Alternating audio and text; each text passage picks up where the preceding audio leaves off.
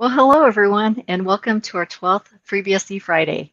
I'm Deb Goodkin, the Executive Director of the FreeBSD Foundation. I'd like to thank you all for watching this right now, whether you're watching it live or if you're watching the recording. You can find all the upcoming talks and recordings for the past talks on our website, and we'll post the link in the IRC channel here.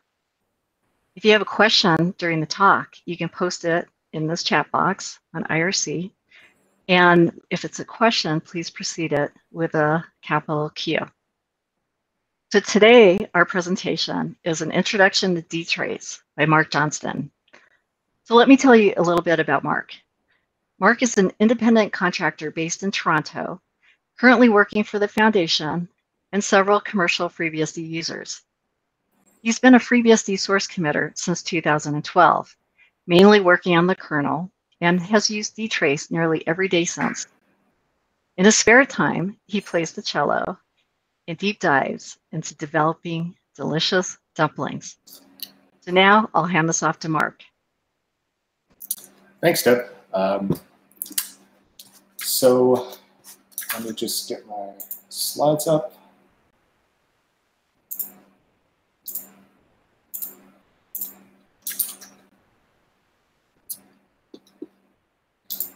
That going.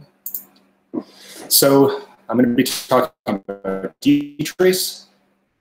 dtrace is a tool intended to help diagnose problems with systems uh, running in production primarily. Um, so rather than try and give a, so dtrace is a fairly powerful tool. Um, it's got a lot of uh, components. It's, it's got its own little programming language. And rather than try to exhaustively go over it uh, and, and give you information that's already available on the internet, I wanted to present the, the high level concepts behind dtrace and give a lot of examples um, around how, how I use it in my, in my day-to-day work. Um, so if, if you've been using FreeBSD, you've probably heard of dtrace. Uh, you might not know very much about it. Um, so hopefully with this, you'll, you'll have some ability to, to go out and, and further research uh, dtrace related topics and, and um, get a better understanding of, of how you can use it. So here we go. Um, so it's pretty fair to ask. Dtrace is something that comes up uh, in, in, mailing list conversations on IRC and so on very often, but what exactly is it? Well, it's a, it's a so-called dynamic tracing framework. And that doesn't really answer the question directly, but um, it's, it's easy to understand given some, some context and a common problem that arises when you're running uh, FreeBSD or really any, any operating system in production. Um, you have some server, which is maybe running a, a database server, or maybe it's handling, uh, it's, it's running a web server, it's serving some sort of requests from, uh, from client systems, um, and it works great. You run it for several months in production, it does all the things it's supposed to do, and then for some reason, um, a, a, problem arises, there's some sort of anomaly. You know, maybe your latency, uh, your, your request latency goes up by an order of magnitude, maybe the number of uh, database transactions per second you're doing drops. Maybe it only happens in the middle of the night for an hour and then everything else is fine. Um, so if you're a system administrator or developer working on, on that kind of system, uh, you, are going to want to fix it, hopefully. Um, so on FreeBSD and, and really any self-respecting Unix, you have a plethora of command line programs that can give you a picture into what's going on in the operating system, and particularly what's going on in the operating system kernel. So on FreeBSD, I've given a short list here. We have top, vmstat, netstat, systat, procstat, um, you know, a whole bunch of others, and they, they kind of give you answers to canned questions. So uh, if I want to look at all the active TCP connections and uh, you know, see, see how many are in a particular state, I can run netstat. Um, sockstat can give me similar information. Um, all of these programs are, are very useful, to be clear. Um, I, I, use them all the time. I think they're a, dtrace aims to complement them rather than replace them. Um, but they're, they're fundamentally limited. And the reason is that they, they use usually private interfaces to the kernel to gather information about the kernel state, and then it displays that state to the user. Um, so if the information you want isn't anticipated. Like the programmers who wrote this, who wrote these tools, wrote them to, to answer specific questions about the kernel state. And uh, if you happen to have a question that isn't answered by one of these tools, well, without something like dtrace, without a dynamic tracing framework, you're, you're kind of stuck. Um, there's, you know, these programs give you a lot, uh, a lot of uh, visibility, but ultimately they're not extensible. So Netstat might give me a clue into the into the source of a problem, but uh, at a certain point, I might my, my questions about the, the, the kernel networking subsystem might become too specific for Netstat to be able to answer. So without a dynamic tracing framework, your next step is usually, if, if you're an OS programmer or if you happen to be in contact with some OS programmers, is to say, oh, hey, there, there's some extra information I need. Can you add it? And maybe maybe they go do that. Maybe it takes a couple of weeks. You have to reboot your system. It's, it's real painful. Um, so what a dynamic tracing framework allows you to do is uh, instead of using existing tools to answer canned questions, you can ask your own questions of the kernel. Um, and those questions are, are encoded in little programs that get dynamically loaded into the kernel's address space and they get executed. So conceptually, it's actually pretty similar to the way kernel modules work. A kernel module is just kernel code. It's been compiled. We have a facility for loading it. Uh, you know, most most uh, operating systems have something like that. Um, so conceptually, dtrace is, is allowing you to do the same thing. Um, it's a bit different. Uh, it lets you write programs on the fly and they get compiled and loaded and, and unloaded automatically. Um, more significantly, uh, dtrace programs are, are, safe to execute. So they don't provide, uh, dtrace doesn't provide a, a full-blown programming language that lets you uh, perform arbitrary computation in the kernel. It gives you uh, a fairly limited but still quite powerful uh, set of programming tools that uh, that let you answer a lot of questions without the risk of, of crashing your production kernel because you happen to include a bug in your in your dtrace program that got loaded. So dtrace being a dynamic tracing framework uh, is is uh, is a tool that lets you again write programs on the fly, load them. Those programs typically collect data they don't have any side effects. In dtrace, it is possible to, to load programs with side effects, but you, you once you do that, you, you're, uh, there, there's no real guarantee that it won't do something that crashes the system. So most of the time when it's used, it's for collecting data and, and no other purpose. It also has a lot of uh, facilities for summarizing data. So instead of uh, you know, collecting reams of, of information about the kernel state and filtering it as a post-processing step, dtrace lets you filter it in line. So it, part of the part of the dtrace language uh, is is um, syntax for for defining predicates that let you filter out uh, events that you're not interested in. So that's another advantage over those those kind of static tools like vmstat, netstat, so on. They collect a bunch of information for you, and you can customize that to some extent. But ultimately, it's it's quite common to have to do some sort of post processing of their output to get the information that you're actually interested in. So dtrace um, originated in Solaris in the early 2000s. Um, since then, it's been ported to a number of other operating systems.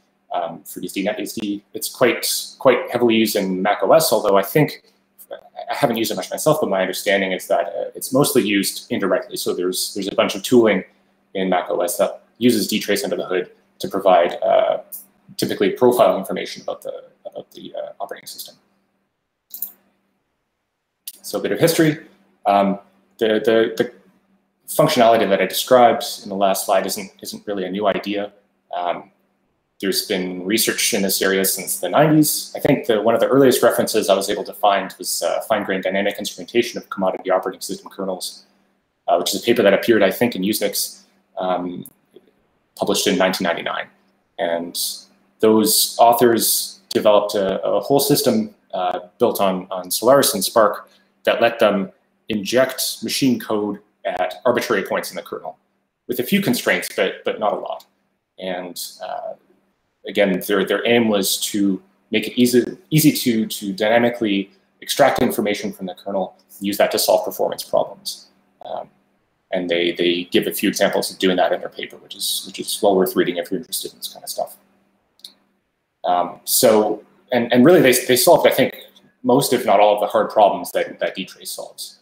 Um, there's a lot of uh, complexity around splicing new code into the existing kernel um, and, and doing so in a way that's guaranteed in some, some rigorous sense not to crash your system because that really defeats the whole purpose of, of uh, these kinds of tracing systems.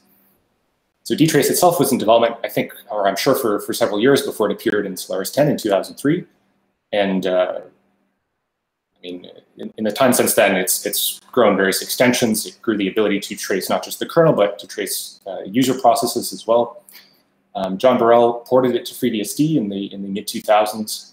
Um, uh, yeah, I, am not sure exactly what span of years, but 2006, 2008 seems to be the uh, um, seems to be the most active range. Uh, sadly, he passed away in 2009, um, and, and that, that predates my involvement in FreeBSD, so I never got a chance to meet him. But he did a truly, truly heroic amount of work in, in porting dtrace to FreeBSD. Um, dtrace is is fairly complicated system. It has tendrils into low-level port or low-level pieces of the operating system kernel that it runs in. Um, porting it to to FreeBSD was was definitely a lot of work, and he was, I believe, the first person to attempt a port of dtrace to any other operating system besides Solaris. Um, so uh, his his work is, uh, is yeah, it's definitely left a huge legacy. Um, he, in addition to porting dtrace, dtrace itself, he he helped develop a few components of FreeBSD um, that that were required um, in particular, as I understand it, the, the project to write a libelf and libdwarf, the BSD licensed libelf and libdwarf came uh, uh, partly from John. Um, so dtrace has been enabled in the AMD60 2012, so quite a long time ago. Um, it's been ported to other platforms running, or that, that FreeBSD runs on, but uh, in my experience, the, the ports are, the, the, the AMD64 port is, is the most stable and, and the most time most time tested. So if you're doing a lot of experimentation with dtrace, I would I'd suggest doing so on AMD64 lest you run into uh, lest you run into bugs. So I'm just going to try and describe some of the, the high-level ideas behind dtrace. So like I said, it's it's uh, it's a system that lets you write little programs on the fly, inject them into the kernel, and collect the output in a safe manner. So because it's a programming language. dtrace defines its own language called D, uh, which is kind of an interesting hybrid of, of C and awk. Um, I have a couple of uh, syntax, or I, I have a, a, rough syntax sort of uh, layout here. Um, it, it, well, first let me let me talk about some of the other uh, some of the other components here. So a probe uh, is a point of instrumentation. So I've mentioned several times the facility that lets you write a program and load it into the kernel. Well, when does that program actually run? It runs, it, the program is attached to a probe, which is almost always uh, specific to, to a point in the kernel code, if that makes sense. So to give a more concrete example that I listed uh, a bit lower, um, we have a, a, set of probes for system calls. Every time a system call is uh, executed, we have two probes, an entry and a return probe. So the entry probe fires when the syscall uh, first starts executing, and the return probe fires when uh, the, the system call is finished and is about to return to user mode. So it's possible to attach programs, dtrace programs, to either of those probes for any given system call. So conceptually, a probe really just corresponds to a, piece of kernel code that gets executed. By default, probes are inactive. When you run dtrace and use it to load a D program into the kernel, the corresponding, the, the probes referenced by the program are, are, activated, and any kernel thread which executes the corresponding code will call into dtrace, uh, perform whatever action or actions were defined in the D program, and then return back to what it was doing before. So a provider is uh, a component, like a provider just defines a set of logically related probes. Um, so it's it's part of a it's it's to help define a namespace for probes that are otherwise unrelated. So in the examples uh, further down the slide, you can see the first component of that four tuple is, uh, is, a, is syscall, which is the name of the provider. So there's a number of probes, like I said, one or two for each system call in the kernel, and those fall under the syscall provider. So to give other examples, and I'll list, I'll list them more comprehensively in a bit, but we have probes for the scheduler. So there's a number of events uh, defined by scheduling decisions made in, in, uh, in the FreeBSD kernel scheduler. Uh, so there's a sched provider for that. There's an IP provider for the, for the network stack, the layer of the network stack that handles IP traffic and IPv6, and, and so on and so on. Um, so the probe name or the probe identifier is, is basically a four tuple. Um, the provider always comes first, and then you have a module and a function and name. So those help further break down the, the sets of probes. In the, in the four examples I gave here, you can see they're all they all belong to the syscall provider. Uh, we have two different modules, FreeBSD and FreeBSD32. So FreeBSD, the first module corresponds to the native system call. FreeBSD32 corresponds to the 32-bit compatibility system call that, that you will find on, on 64-bit systems, um, uh, particularly AMD 64. So by default, we, we support running 32-bit programs on AMD 64. Those programs use a different system call ABI, and we have separate probes for them. Similarly, if you run the, uh, if you use the Linux compatibility layer, the Linuxulator, um, you'll get uh, probes for, for Linux system calls as well. Uh, the function loosely corresponds to the notion of a C function, so you might have multiple probes within a single C function, um, and you might, uh, and so therefore uh, uh, their, their, their function component is going to be equal. Um, you might also have multiple probes that are, that are logically related but are placed in different C functions. So for instance, um, in the IP provider that I mentioned earlier, we have a probe that fires anytime the IP uh, stack sends a packet. Um, so, but there's multiple multiple places in the in the kernel that actually perform that action. So we have an IPv4 stack and IPv6 stack. So there's multiple places where a given probe might logically be placed. Um, and so the function component helps differentiate that. And then the name is, is uh, the final component, which again, yeah, it just helps define the, the probe itself. Um, so that's, that's probes. And if you look at the rest of this line, there's some syntax that looks a lot like awk. So in awk, uh, the model is you take a line, you split it according to a separator, and you perform some some actions on the on the uh, on either the entire line or on its components. Um, and in awk, like like in awk, you can you can define filters. So if there's lines you're not interested in, you can write little tests that let you exclude certain certain types of input. So in dtrace, it's very similar. So probes, uh, when they get executed, get executed in a certain context that might not be interesting uh, for a given uh, a given consumer. So a predicate lets you kind of cheaply filter out data that you're not interested in inline. So this is kind of the, the inverse of what I was talking about before with the static uh, Unix utilities like netstat and sockstat and so on. Instead of piping their output through grep or through whatever script, you, you filter before you collect any data. And then in actions, uh, the, the actions component is, is basically a whole program.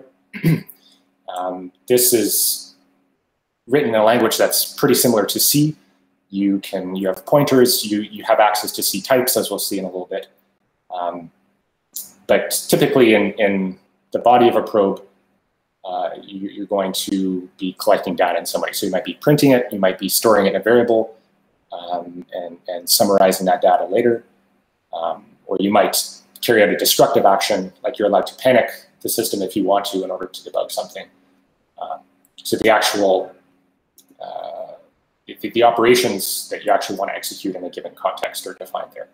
So like I said, most, most of the time the actions have no side effects. They just update dtrace variables um, or they, they, they collect some sort of data. And just a note about wildcarding, um, you can refer to many probes at once uh, by, by omitting the components that are common or that, that, that, are, that would otherwise differentiate multiple probes. So if I want to filter, if I want to collect data every time fstat is called, I can do that. But if I want to collect data every time any system call is called, I can do that. And similarly, you can add globs to match uh, multiple probes if you want to. So in FreeBSD, we have the open system call, but we also have open at. And so um, filtering with open star will, will catch both of those. So before we get into uh, some examples, some, there, there's a few other components of dtrace that are worth uh, that are worth looking at. CTF is, is uh, certainly one of them. So, you know, we, we have a set of probes in the kernel that you can attach programs to. Um, but if they're, if they're collecting data from the kernel, they have to understand the kernel's types. They have to understand how the kernel encodes data. And so CTF is the, the basic solution for that. And to use dtrace, you don't really need to know anything about CTF itself, but it helps to understand that there's this, uh, there's this representation of the kernel's, uh, the kernel's types. So if you've ever used a debugger like GDB, you'll be, you know, you run your program under GDB, it knows how to unwind the stack, it knows the names of your functions, it knows the types, or it knows the arguments of your functions, and it knows the, uh, the, the types of the arguments in the function. Um, it does that using uh, some debugging metadata in a format called dwarf, which is uh, typically compiled into uh, programs and, and, it's compiled into the kernel as well. Um, and that, that dwarf data also contains information about all the, the C types that your program references. So CTF is basically a simplified version of that. Uh, dwarf is, is a very comprehensive debugging format. It includes a lot of information that dtrace can't really make use of. Um, so CTF is, is a, a, simple representation of the, of the type graph in a C program. If you're a C programmer, you know, you, you can think of it pretty simply. You have integer types, which are, are base types. You have uh, indirect types, which are um, a, type that solely refers to one other type. So you might have an int, and that might be pointer to int, or a type def of int or uh, you know int with a const qualifier. And then finally, you have compound types, which are structs and unions, which are just a, a list of um, other types. So CTF kind of defines that type graph in a way that's fairly easy to uh, to extract from a, from a program or from the kernel. So I'm going to switch to the terminal and start showing some examples. Um, and for instance, run CTF dump on your kernel to see its representation of the type graph. So you can see right away we have an integer type. Uh, we have a pointer that refers to uh, another one. Each type has an associated integer identifier, and so on and so on. And uh, this is immediately useful because, again, when you when you attach a pro, uh, a dtrace program to a probe in the kernel, you want some context for that program to, to execute in. So for instance, if I have a probe that fires every time something sends a signal to another process, I probably want to also be able to get the signal number. Uh, so probes that are defined in the kernel have arguments. Those arguments have types, which are defined in uh, using CTF. And in your D program, you can treat them much the same way that you would the corresponding uh, C arguments to a function. Um, to give another example, we have man pages for a few uh, providers that, that FreeBSD provides. Um, and in the man page description, they're, they're kind of defined almost like C functions. So we have IP receive, which takes a bunch of pointers that are described in the man page text, and uh, IP send as well. Um, dtrace has a number of global variables that it always provides. Uh, again, that just gives you additional context in your in your probe. So when a probe fires, it executes in the context of a specific thread. That thread belongs to a process, and that process has a PID. Similarly, uh, it probably has, if it corresponds to a user process, it's going to have an executable name. Uh, so there's there's a whole set of global variables that you can reference. Um, and I guess at this point, I should probably note that uh, there's a very good dtrace, a very good and comprehensive uh, guide to the, the whole language on uh, dtrace.org. It's maintained, I, I, believe, by the Illumos developers, um, Illumos being the, the, open source descendant of Solaris. Uh, and, and so, you know, has, has a strong culture of using dtrace. Um, so I, would strongly encourage you to look there at, at all the different global variables and, and uh, types that dtrace provides because uh, uh, they, they, often come in handy and it's, it's helpful to have them in your fingers. Um, another piece of technology that, that is used in dtrace is DIF, which stands for, I believe, dtrace intermediate format. And it's, uh, it's basically a bytecode, so, or a bytecode format. When dtrace compiles your, your D program and loads it into the kernel. It compiles it to DIF bytecode. And when a thread causes a probe to fire and execute your program, it runs a bytecode, uh, bytecode executor in the kernel uh, that actually carries out the actions that you requested. And you can use dtrace-capital S to dump the, uh, the bytecode for a given script. So if, if you use Linux, um, this basically corresponds to eBPF. Um, and, and they're, they're conceptually pretty much identical. I think eBPF is probably more powerful in general. I, I don't know all that much about it, to be honest. Um, but if, if you're looking to kind of uh, translate your knowledge of Linux to FreeBSD or to, to any other system that uses dtrace, um, DIF is, is, the, is the thing you're looking for. Again, most dtrace users don't really need to know much at all about it. Um, it's, it's just kind of an internal detail, but uh, it's, it's worth understanding that there's a, there's a bytecode format and uh, uh, execution, execution engine in the kernel. Uh, so in the typical uses of dtrace, you're using it to collect data from the kernel and, and uh, export it to user space. So the way that's done is using uh, buffers that are accessible to both uh, the kernel that's executing a dtrace probe and uh, the dtrace program itself, which pulls data out of that buffer. So the, the typical model is you have a pair of buffers per CPU. One of those buffers is active. So if a probe fires on that CPU, it'll log whatever data is requested to that active buffer. Once a second, the dtrace process will flip the two buffers that are used by each CPU so that the one that was active becomes inactive and the one that was inactive becomes active. And then it'll consume data from the now inactive uh, buffer.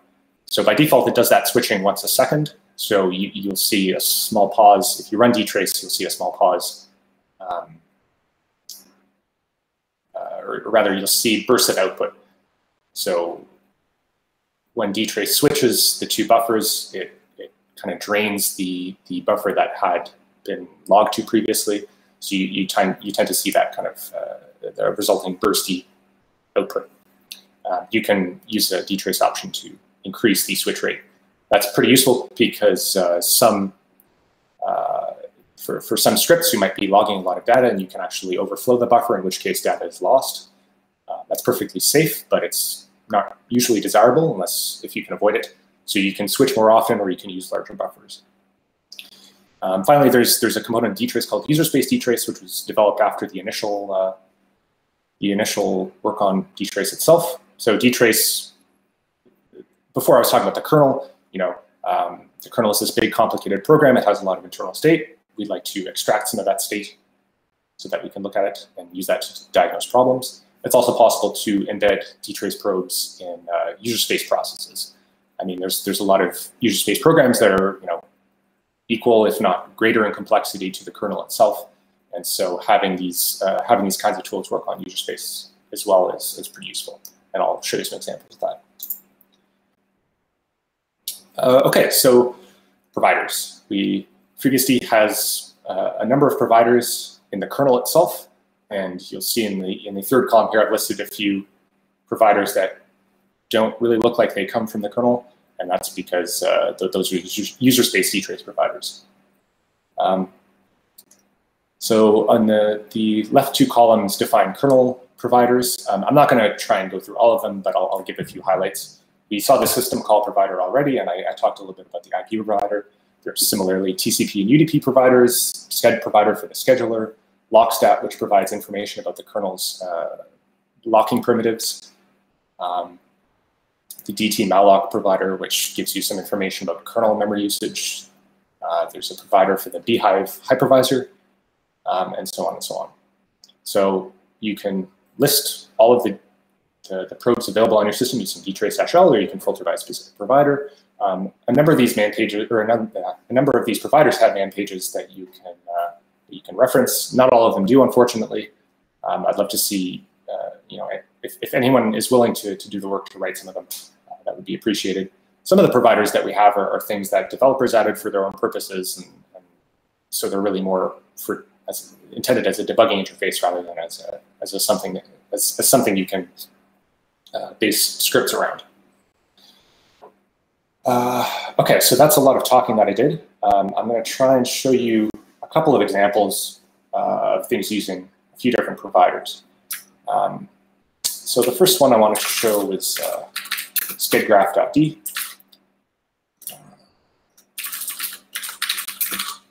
So I'm going to start Postgres. It's already running.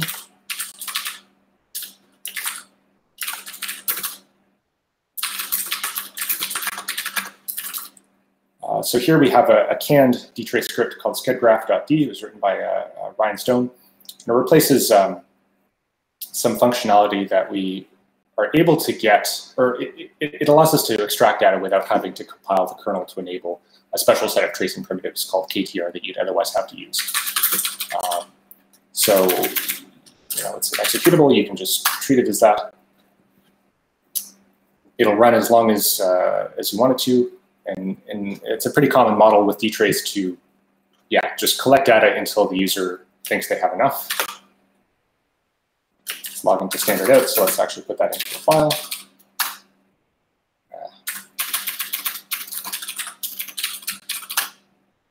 So uh, Postgres is running all the while. Um, so there's, there's going to be a fair amount of scheduler activity. So that's a little bit. It's logging a whole bunch of data to out.ktr.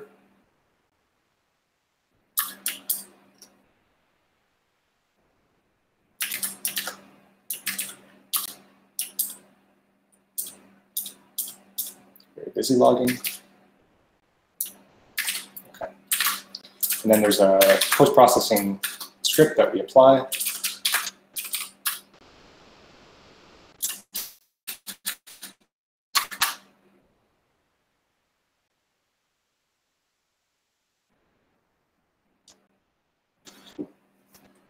So while it's running, I'll, I'll give you a peek inside uh, schedgraph itself, or schedgraph.d. Um, might be a bit hard to see, but the, the basic structure that I described before is, uh, is, is, pretty evident. You have a probe, in this case called sched load change. You have a filter, uh, which is just a Boolean check. And then if that filter, if that predicate returns true, we print something to standard out. So if I look at out.ktr, which was the output of the, uh, the D script, you can see a whole bunch of lines about uh, scheduling decisions made by the kernel.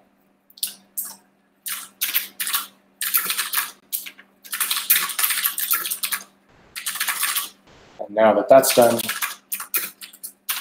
I can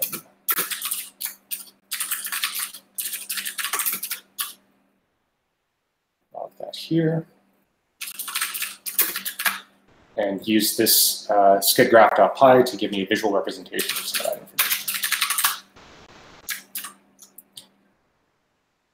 So you can see it takes a little bit of time because it's got to parse a whole bunch of input uh, before, before doing anything.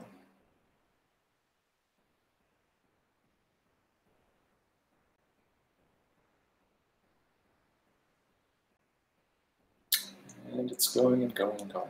So while that's while that's loading, I'm going to show uh, the other example, which is fortunately a lot uh, less demanding of the system.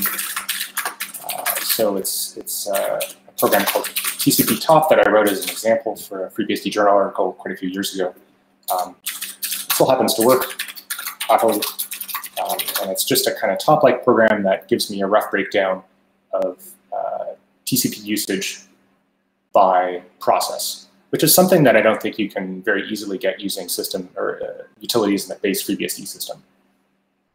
So in this particular case, you can see it's uh, all Firefox, um, and we, we have some indication of how much data it's using.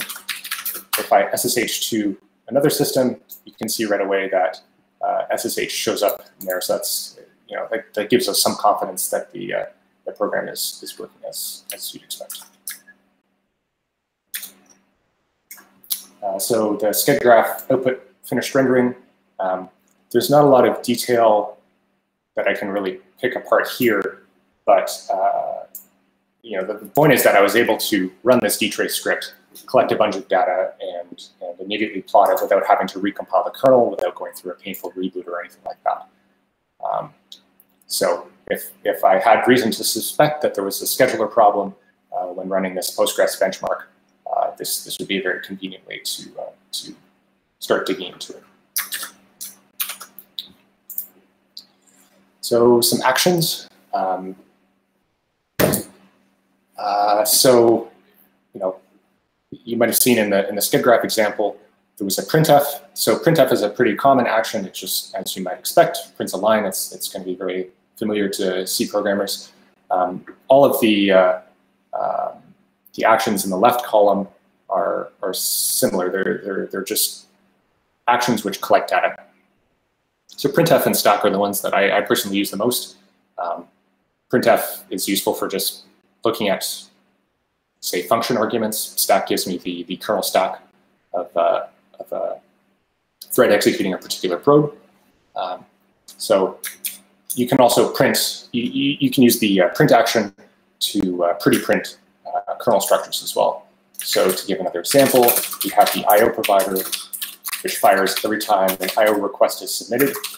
Um, I can use uh, dtrace to, or rather, I can I can look at the argument types. I see that the first is a, a pointer to a struct bio, which is uh, the kernel's representation of a block IO request. So anytime you read or read to, read from or write to a disk, um, a struct bio is going to get allocated with a bunch of information about where from the disk you want to uh, read from or write to, and, and, a bunch of other information. Uh, so if I don't have a particularly good idea of what I'm looking for, I can just print the entire structure.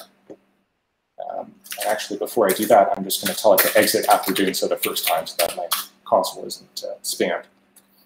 And you can see, I mean, my system is doing some activity, and uh, we have this nice, pretty printed struct bio with all of its fields filled out um, that, uh, that give, potentially give me a lot of information about uh, you know, where, where, this, uh, where this IO request is going, how large it is. Um, so for instance, uh, bio length, so that's going to be uh, 32 times 4 kilobytes, so 128 kilobyte request. Um, similarly, I can add a stack action to my script and have it print the a stack trace of the, of the kernel thread executing uh, the IO start probe. So we'll run it again. And so prints the struct bio as it did before, and now we have uh, kernel stack. So you can see it was writing a, a, cluster of, uh, of UFS file data.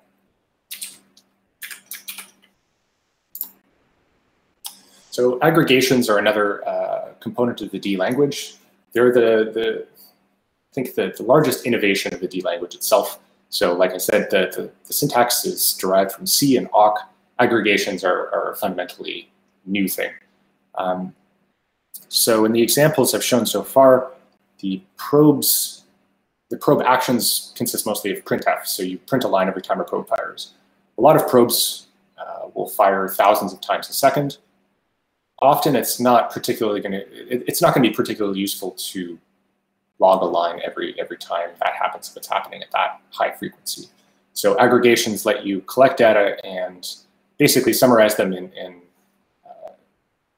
statistical manner, perhaps. Um, so an aggregation is, is just a variable. Uh, it, it's, uh, it consists of, of a name follow, or uh, following an ampersand. Um, sorry, not an ampersand, the, the at symbol. Um, it has an optional set of keys, and then uh, uh, it, it's set equal to uh, an aggregation function of the value that you're interested in collecting. Um, so I, I, think it's actually pretty hard to explain this in an intuitive way without examples. Um, it took me a while to, to understand it. So rather than try to give you a, a, a precise and formal definition, I'm just going to show you some, some examples. And so what I'll do here is, is uh, measure how long it takes for the kernel to do uh, TLB invalidation. Uh, so if you don't know what that is, it's uh, the TLB is a hardware cache that's uh, present in, in all modern computer systems. It, it caches uh, virtual to physical memory translations. Um, it's not really important. The point is it's a cache that occasionally has to be invalidated by the operating system. Um, TLB invalidation is usually a pretty expensive operation. So if your kernel is doing it a lot, that's most likely going to represent a performance problem that you're that you're going to want to do something about. So I happen to know that all TLB invalidation happens in functions called pmap underscore invalidate underscore star. So what I'm going to do to measure the amount of time it takes to execute this particular function is set a variable to the current time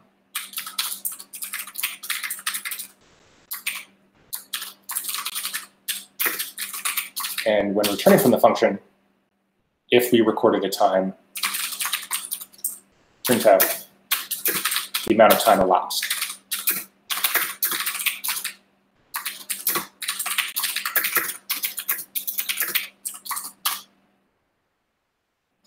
So you can see we're getting a whole bunch of numbers. It's a lot of output.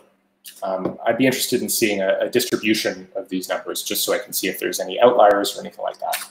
So that's what aggregations let me do. So rather, so we're going to keep the timestamp, um, but rather than printing it every single time,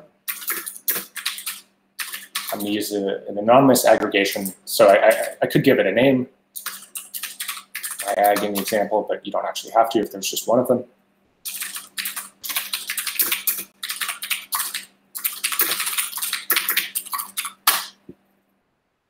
So now it's running.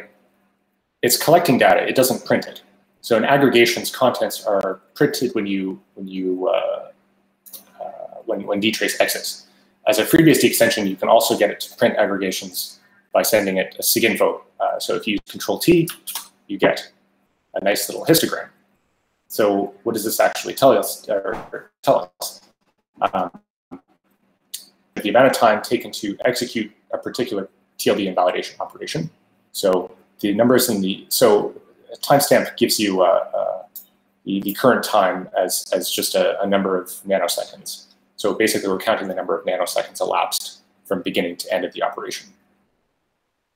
So you can see the most common amount of time is between 1024 to 2048 nanoseconds, so one to two microseconds. Um, we don't seem to have any outliers. I'll let it run for a little bit longer, but still nothing all that interesting. Okay. So I didn't use any keys there, um, but again, if you know a little bit, uh, sorry, do we have a question? What's the what's one of the most interesting or difficult issues you've solved using dtrace? Um, I'm going to punt on that for a bit. I'll try to keep thinking about it in the background, and then maybe by the end of the talk, I'll, I'll try and give an answer. Usually, I don't solve a problem by using dtrace. The, the, the model is I there, there's a problem that I want to understand. I, there's something I don't understand. So I start asking questions and I use dtrace to ask those questions. And as it helps me answer, you know, my, my, my clarity, the, the clarity of my understanding of a problem uh, is improved. So it's, it's really just another tool that, like, uh, among others, uh, you know, helps, helps with conceptualizing a problem, which is obviously the first step before solving it. Um, but uh, yeah, I'll, I'll try to come up with something a bit more specific.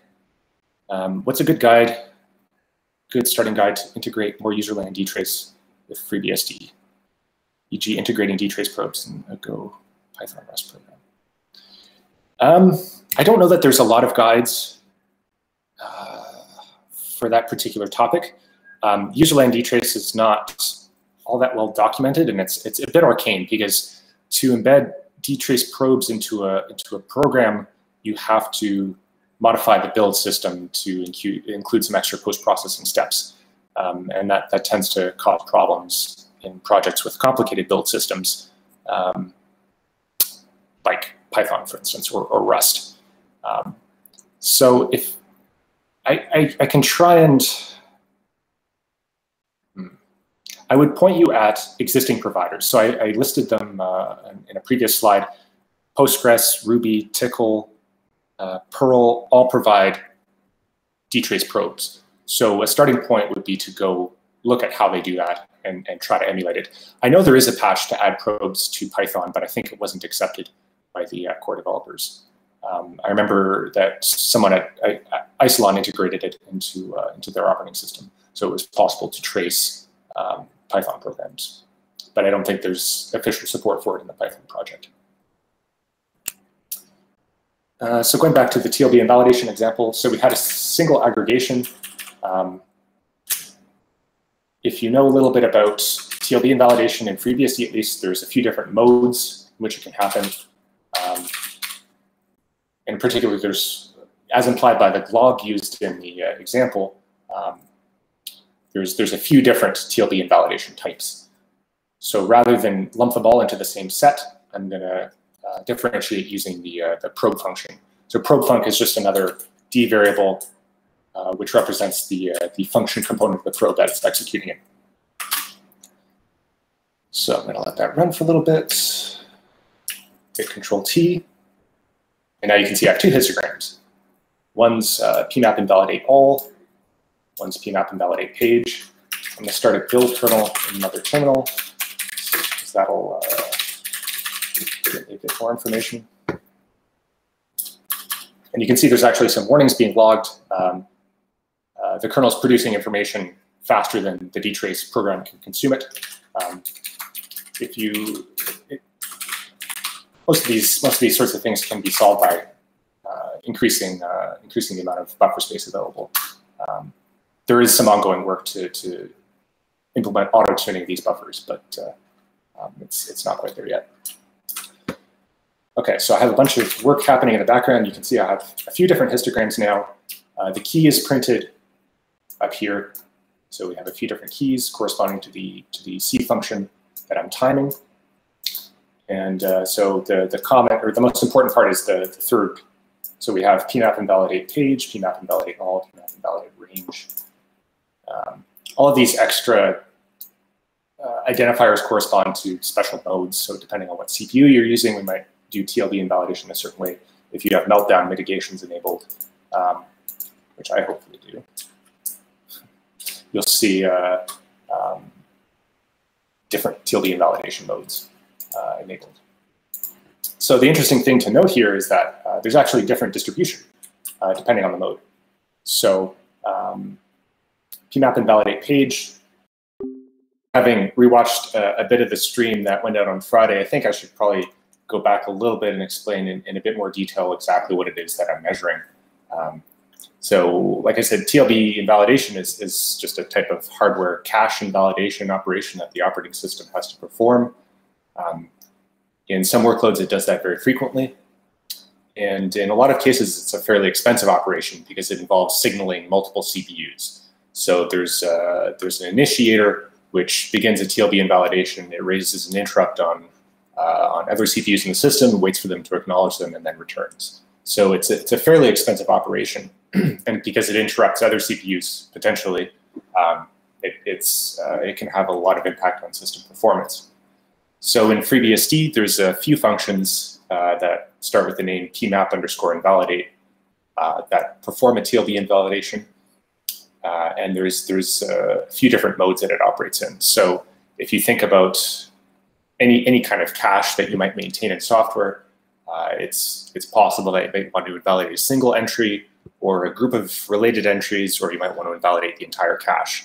So there's different invalidation modes, and that occurs uh, with TLB invalidation as well. So uh, if you actually open the kernel sources,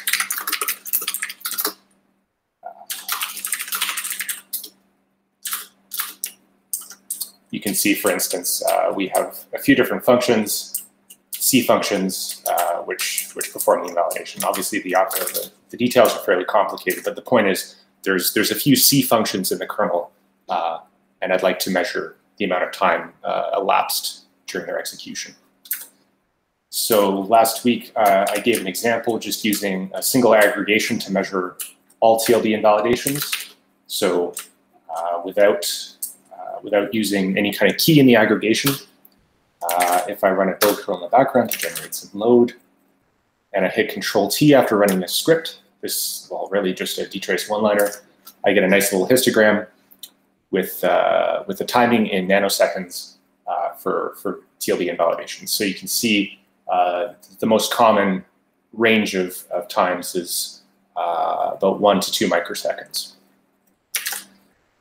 And because there's different modes and one might reasonably expect that certain modes are cheaper to uh, execute than others, I can get more sort of resolution into my into my data by adding a key to the aggregation and splitting the timings between the different modes uh, by using the the name of the the C function, which is also the name of the probe, or which is the name of the the probe function, um, using that to to split out the data that I collect. So now we have a separate histogram for each of the three modes, uh, PMAP invalidate page, uh, PMAP invalidate range, and PMAP invalidate all. And so when I hit Control T, while sampling the data, I have these three histograms.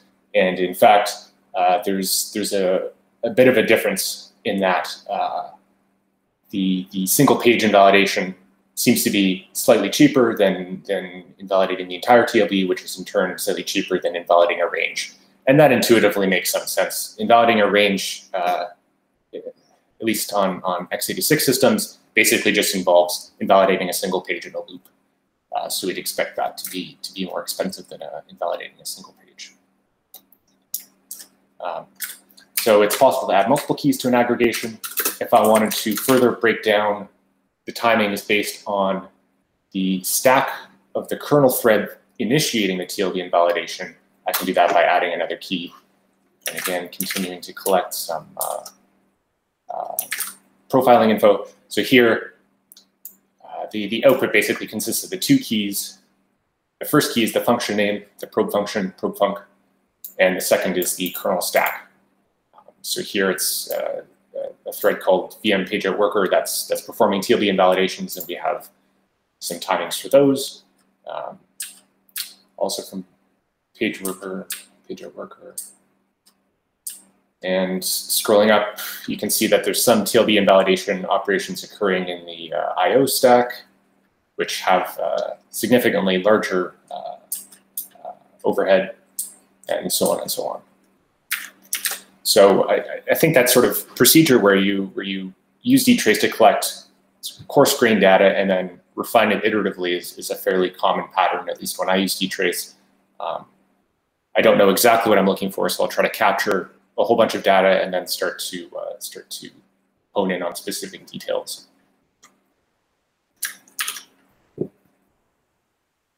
So I, in this example, I use the quantize um, uh, aggregation function. Uh, there's several others. Quantize is quite useful. Um, quantize and lquantize both produce histograms, and uh, the other the other functions can collect uh, various statistical properties of your of your data. Um, so as a very, very simple example, I can do something like uh, use the count aggregation function simply to, to count the number of uh, uh, TLB invalidation operations that occur every second. Uh, so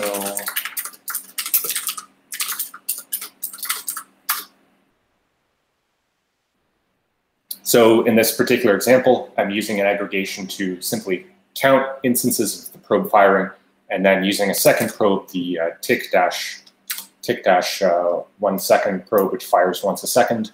Um, I print the aggregation, reset it, and uh, so in that way, I kind of get a delta uh, each time the probe fires. So you can see while I'm running a, a, build kernel in the background, I get several thousand TLB invalidations per second, which is actually uh, quite high. Um, and if I were specifically interested in their impact on system performance, I could use dtrace to see, okay, well, not all TLB invalidations, TLB invalidation operations are going to interrupt a remote CPU.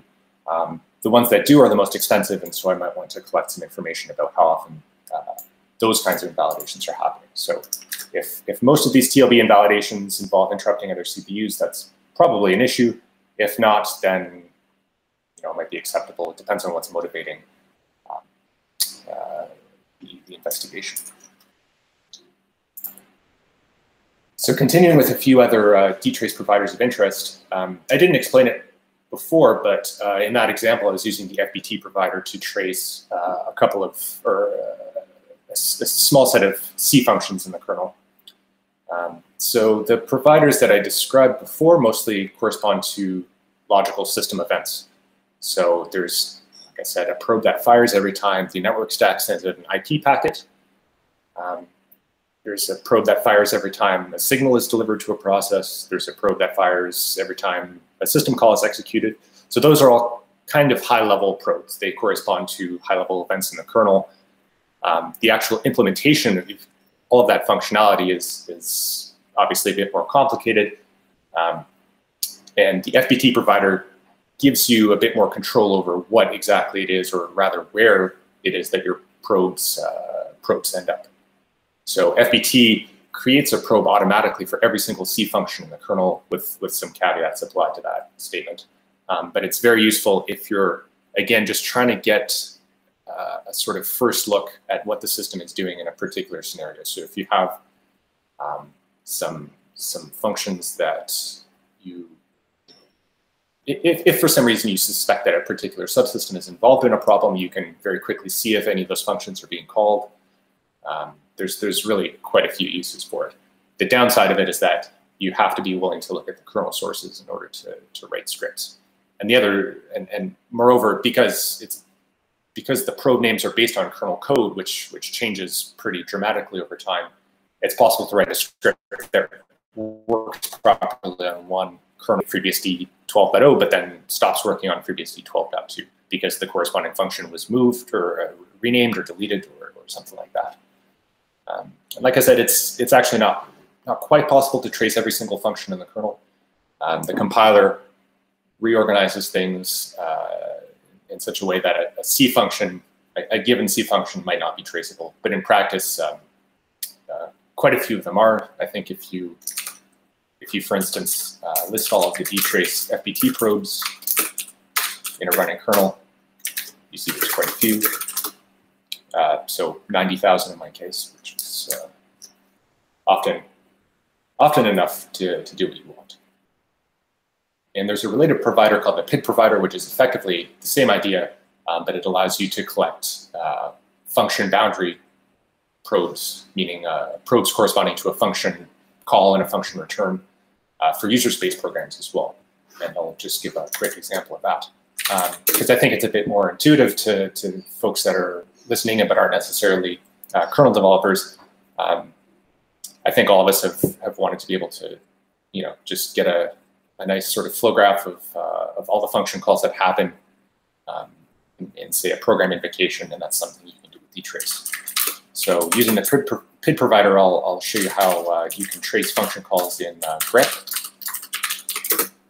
So I'm going to match um, all of the function entry probes and all of the function return probes in uh, fgrep, which is the, the, sort of true name of the uh, grep executable.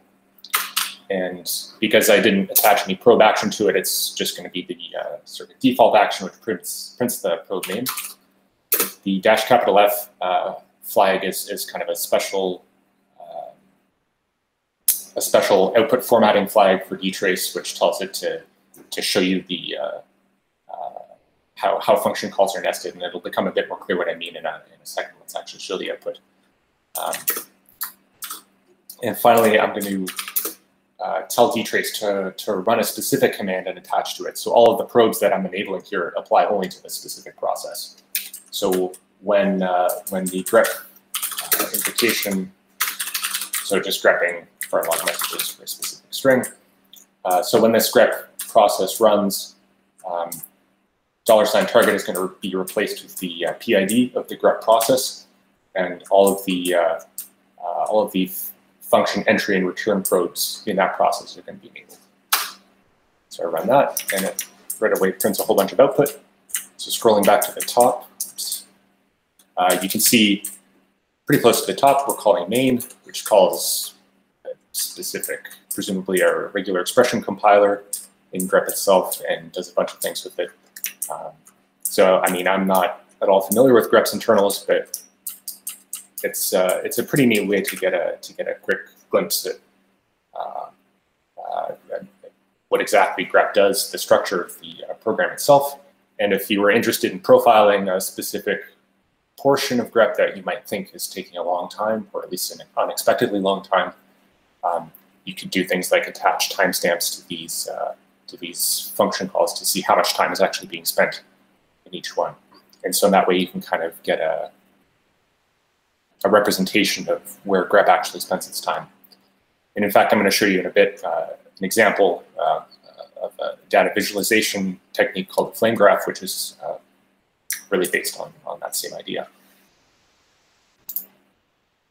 Okay, so the last few slides I want to show are basically basically consist of uh, examples of programs that use dtrace under the hood. So um, so far I've been typing dtrace commands into the command line and, and running them.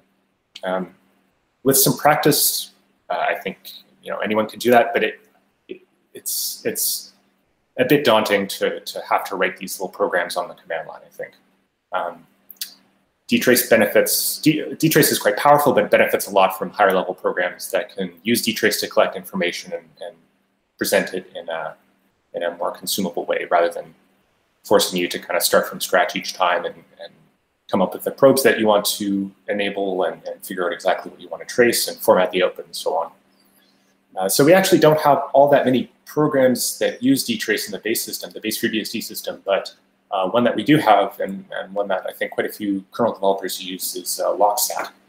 Um, so earlier I mentioned the Lockstat provider, which is uh, a kernel provider that gives information about the kernel synchronization primitives. So the kernel, in many ways, is just a regular C program. It's a multi-threaded C program, um, and it uses uh, it uses quite a few different techniques to synchronize execution between different CPUs when they're accessing shared memory. Um, but they, they do make heavy use of the sort of venerable mutexes that, uh, that one encounters uh, pretty quickly after you start writing multi-threaded code. So we have a few different flavors of mutexes, um, uh, reader-writer locks. Uh, really, we have mutexes and reader-writer locks, but several flavors of each, depending on the constraints in which they're used. Um, so in any sufficiently large multi-threaded uh, program, that uses those kinds of synchronization primitives are going to come up against issues where a certain lock is, is monopolized by a certain thread or uh, the system's ability to, to handle a certain workload becomes bottlenecked on a specific lock. So um, even though you have lots of CPUs that are performing work for you, uh, if they all have to acquire the same lock in order to do that work, uh, you'll, you'll quickly end up with a bottleneck, and the more CPUs you have, the larger the bottleneck. So for eliminating those kinds of problems in the kernel, um, we've made fairly extensive use of Lockstat. And uh, it's a very, I would say it's a fairly straightforward program that's, uh, that's uh, quite handy in these kinds of situations. So to, to motivate what I'm going to show you, I'm going to run a specific program uh, in, in this uh, will it scale source directory. So will it scale is a collection of programs that do one specific operation in a loop. And the whole point of them is to find kernel bottlenecks. So this particular example that I've started called thread spawn um, is, is a program that creates a thread using pthread create, um, sets it to run a handler which does nothing, and then the original thread waits for the, the newly created thread to exit. So all of this does is really stress the thread creation and destruction code in the kernel. And what the loop does is it calculates the number of threads it was able to create and destroy every second and just print that. So running a single instance of this loop, um, you get about 38,000 thread creation and destruction events per second. So the question now is, well, okay, the system that I'm running the program on has uh, 32 CPUs. So if I run 32 instances of this loop, um, if all goes well, the total number of, of, thread creation and destruction events should be 32 times this number. And I'm not good enough at mental arithmetic to tell you exactly what that is, but um, let's see if we get something that looks uh, approximately like that when I spawn for two.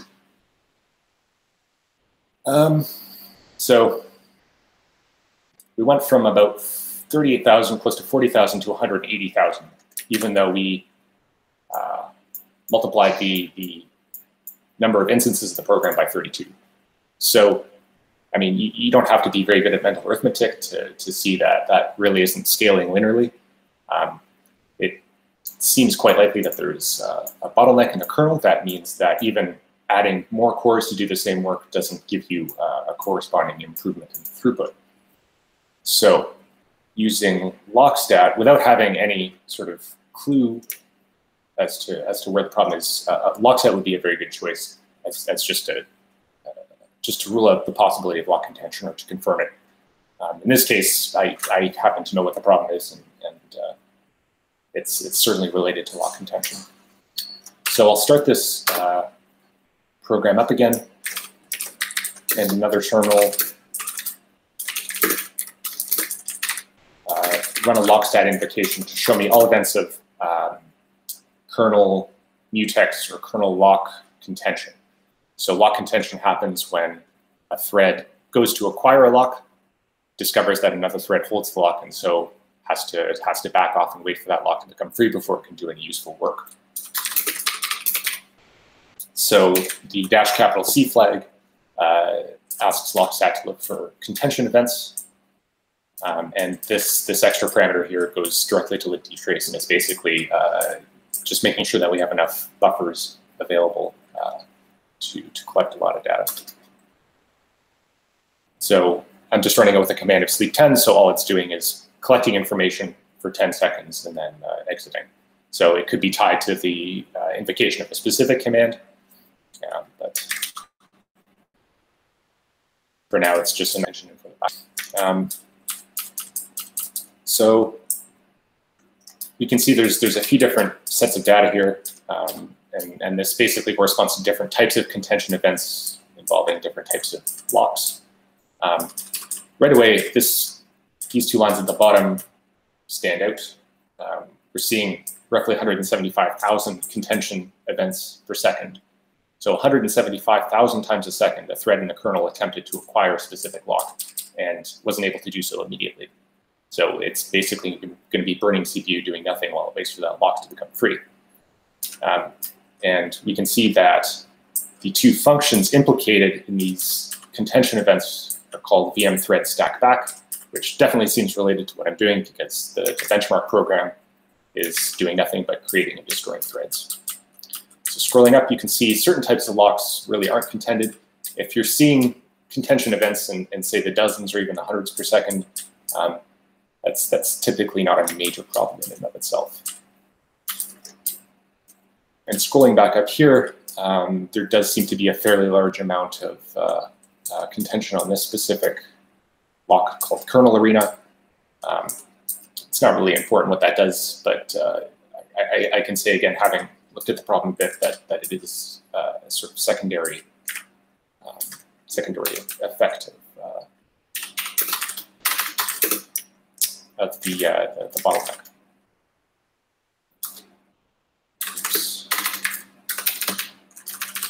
So uh, Lockstat has a number of other uh, options that you can use to get again, more, more information. Um, when I was showing the TLB invalidation example, I added stacks to, uh, to the histograms. Um, so you can do the same sort of thing using, uh, no, that's not what I wanted.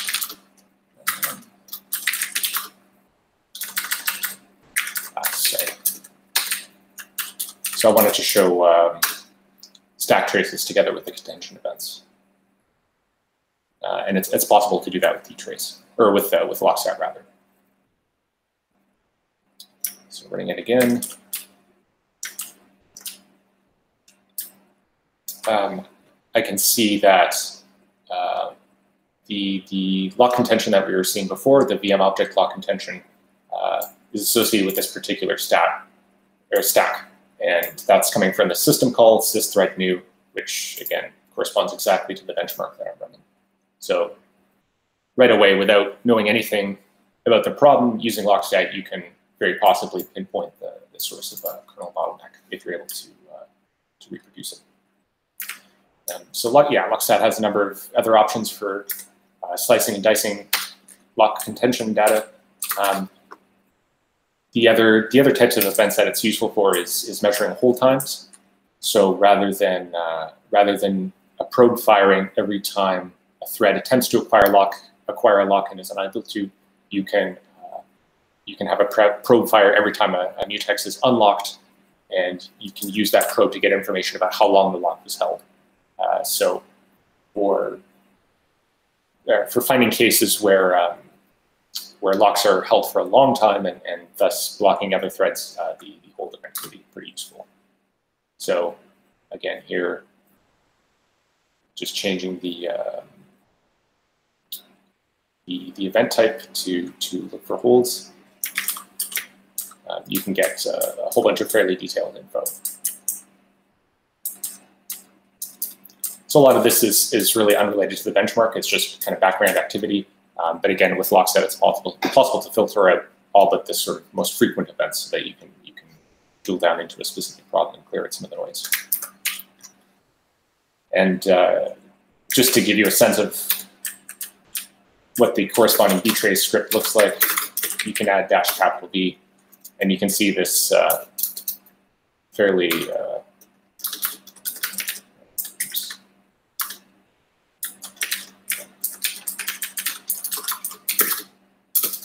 you can see there's a fairly long dtrace script um, that gets emitted. So you can you can get a sense for uh, uh, exactly what it's using under the hood, and if if need be, write your own uh, uh dtrace script based on that to collect more specific information if Lockstat doesn't do what you need. And so uh, flame graphs are uh, a data visualization tool. Um, their, their use was pioneered by uh, Brendan Gregg uh, back when he was doing a lot of work on dtrace, and, and uh, he, he basically wrote a set of scripts that help process profiling data collected by dtrace and create a visual representation of them. Um, so there's a lot of ways to create flame graphs, and, and as usual, the best way to talk about them is probably to start by looking at an example.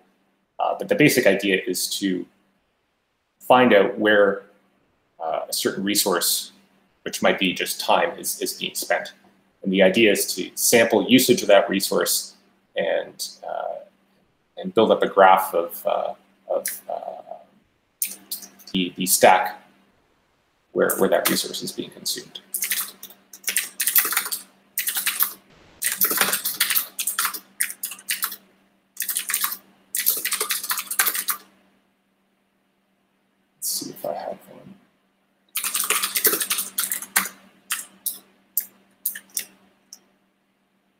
So here's uh, an example flame graph that I collected uh, just a couple of days ago, uh, which shows the, the amount of time spent in various kernel functions as a, as a function of, of the amount of time spent in the caller. So in this particular example, it, you, kind of immediately get from this graph that uh, whatever was happening on the system, most of the most of the CPU time uh, was idle, and then I have a, a collection of time spent in this particular stack. So the, the flame graph just provides a, a sort of visual representation of some of the information that I've showed already. Um, so to give, uh, to, to tie it back to the um, thread creation benchmark, uh, what I can do is uh, use, uh, use flame graphs to see precisely what's happening when that lock contention occurs.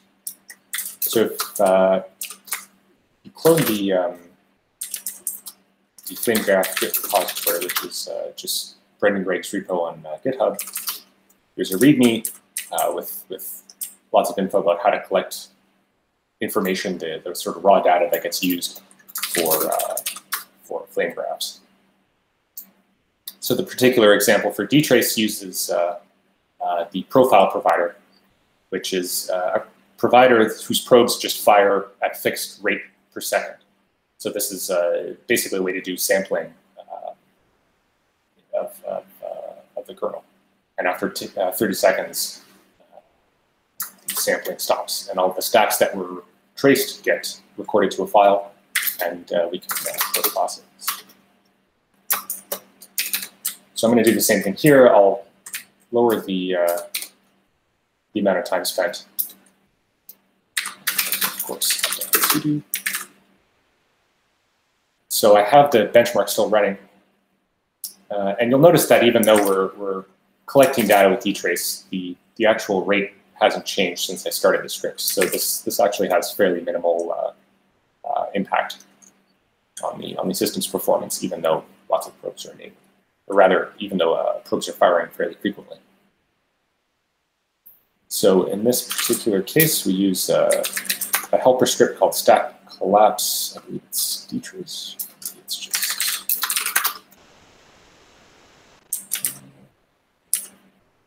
stack collapse.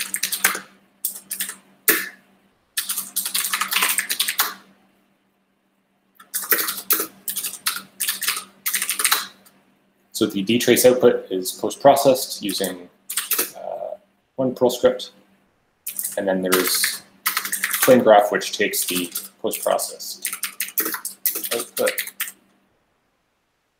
and creates an SVG that you can open in a browser. So uh, I'll do that here.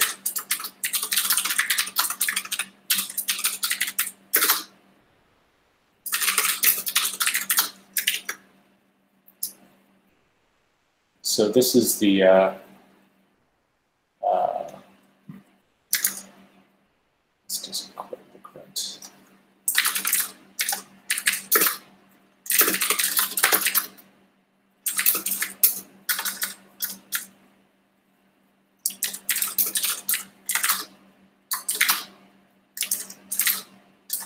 Hmm. This seems to be the, this is showing lots of uh, ZFS activity. Um, so it's clearly not what I just uh, not what I just traced. Obviously, I made a mistake somewhere, and I, I don't really want to go back and search for it. But um, uh, it, it's just another example of, uh, of what kind of information you get. So in this particular case, it looks like the system is doing a lot of. Uh, oh, I see. So the thread. So there. Must be running something else on the system at the moment. I'm not quite sure what that is. But in any case, um, if we drill down into the uh, thread uh, sys_thr_new, which is the system call which uh, creates and destroys thread threads, um, you can see there's indeed quite a lot, quite a lot of lock contention in, uh, in these two functions, kstack import and zone free item. So almost all the execution time is being spent in this function called lock delay, which does nothing but spin uh, while uh, while waiting for a lock to become free. So that's that's a clear bottleneck right there.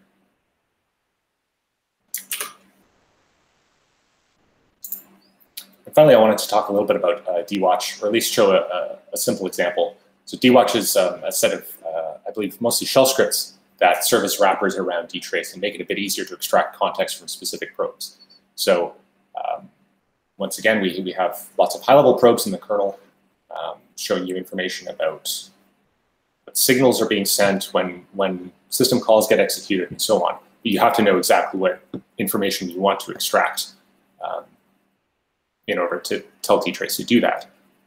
By default, if you don't provide any actions in a dtrace script, dtrace just prints the probe function, um, which, which is, or rather the probe name, which is useful but doesn't really give you all that much information.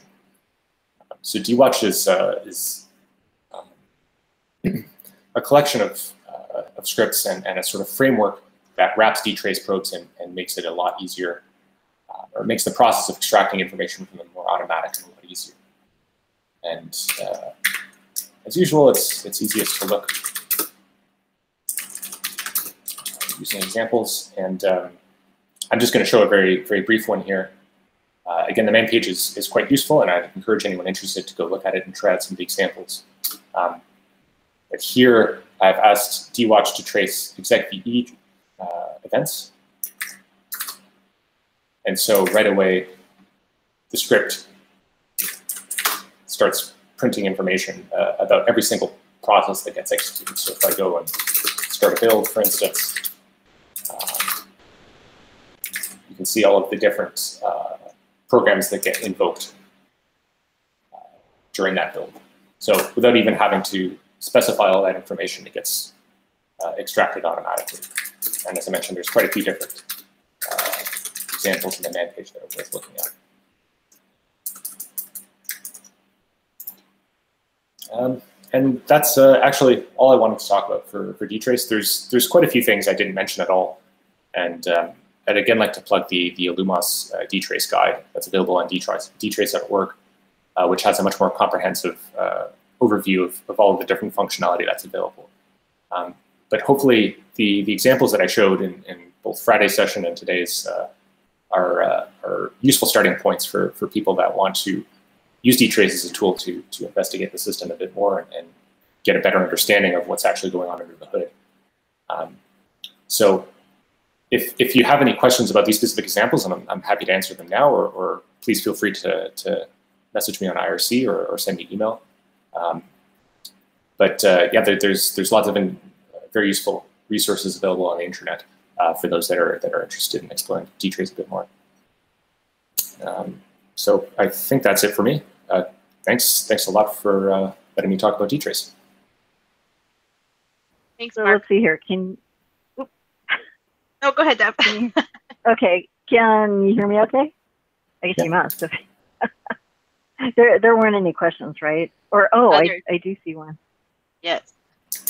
Okay, and I'll let you continue that. Okay. Uh, the question is, where do you see dtrace going and what's next? Um, it's a good question. I so I think a lot of the innovation that's happening around tracing right now is is happening in Linux with eBPF. Um, for a long time, Linux didn't really have any kind of answer to dtrace, as far as I understand it. Like I, my experience is with with Linux is pretty minimal, at least in this area. Um, but I think they've they've come a long way in the past ten years, and there's a lot of uh, there's a lot of new features being added there that don't necessarily have a counterpart in dtrace. Um, so what's next for, for dtrace and FreeBSD, I think, I mean, without being an expert on, on myself, I would, I would spend time looking at its capabilities and seeing what, what dtrace lacks. Um, I do think it, it would be useful to start thinking about a dtrace 2.0 and, and looking at some of the deficiencies in dtrace and, and seeing what we can do about them. Um, I think my largest frustration is the problem that I think DWatch aims to mitigate to some extent, which is that, you know, if you don't know exactly what you're looking for, it's hard to phrase a question. dtrace is, is useful for answering questions, but if, if you don't know exactly what that question is, it's, it's, uh, it can be challenging. So um, I'd, I'd like to see some improvements around discoverability, making information easier to extract without having to, to manually specify everything. So DWatch, I think, helps a lot in that. Um, the other thing that, that I frequently get stymied by is um, difficulty when it comes to sort of end-to-end tracing. So, you know, I can use the network providers to trace packets. I can use the IO provider to trace IO at certain layers. But if I want to show some sort of representation of all the activity that happens when um, a user space program, you know, sends data on a socket and that and, and, that data gets transformed by various components of the network stack and then out through the driver. There, there's no sort of uh, there's no way to trace that from beginning to end. Really, I have to know exactly. I have to know ahead of time uh, where I need to add probes and and where I need to enable them. And, and so it's it's I, and I don't know if that's really a deficiency in dtrace or rather it's just a, a lack of sort of higher level tooling around it. But um, uh, any kind of system for for tracing I/O basically through the system from beginning to end, and uh, being able to to follow that without having to manually set things up would be would be very useful, I think. Um, yeah, those those are my main sort of complaints with dtrace. As a kernel developer, there's other sort of niche features that I wish it had. Um, the, the FBT provider is fairly limited in that you can only trace function entry and exit. Some functions in the FreeBSD kernel are unfortunately very large, and I'd like to be able to dynamically add probes to the middle without having to recompile everything, but that's that's currently not possible.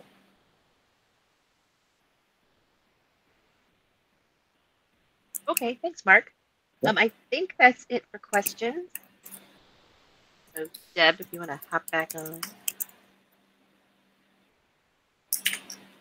Well, thanks, Mark. Um, that was an excellent talk. I am definitely going to have to watch the recording uh, from Friday to review, um, especially like the introductory part of it, because there was just so much information that was uh, great. And I think it's going to be great having this as a recording too, because um, even though it's longer than the hour now, I believe there's so much good information on that I think this will be great for the community as well as new people. And um, and uh, since it is a recording, then people go watch chunks of it, and um, you know, and then always review things. So this has been great. So again, I want to thank you for stepping in and doing this. Um, also dealing with some of the technical issues that we had and coming back today and um, and doing this talk. So um, for the community, um, we will be editing the two recordings and put them together soon. And so we should have these on our website soon, today or tomorrow. And so you can, if you haven't had a chance to watch the first part, then you'll have a chance to do that. So um, I also want to thank Allan Jude for stepping in at the last minute and really at the last minute because we were having uh, a few more uh, issues today and he was able to step in and and help us with the recording and the streaming. And so we really appreciate that. And so he he stepped in um, for us a few times. And so thank you allan so much. So our next talk will be december 11th and so that's uh, like um, two and a half weeks from now. And the talk will be an introduction to capsicum and it'll be by mariusz zaborski. And so um, so anyway that will be really interesting too. So we look forward to seeing you in about two and a half weeks. So thank you.